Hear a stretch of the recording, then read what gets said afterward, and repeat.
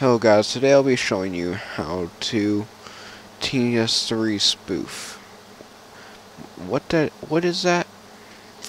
I'll show you. Now look. I'll just change my name since random. I want to change it to what if I want to change it to bum? It's like this guy. I can't. What if I want to change it to home? Boom, I can't. If I want to change the one for something, boom, I can't. So what I do is go down here. Boom, copy to clipboard, paste. And what app is this? It's this. I downloaded this. You have to go to the old wizard thingy. After it's all downloaded and stuff, you'll be able to, yeah. Um,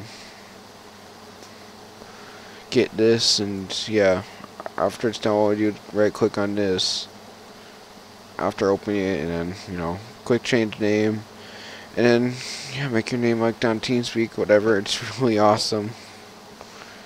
I could make I could give people this name thing like and make this and they if they all copy and pasted each one it would be a whole channel of phones like yeah it's really cool. Um, anyways, guys, that's all I really wanted to show you today. It's just a cool little trick.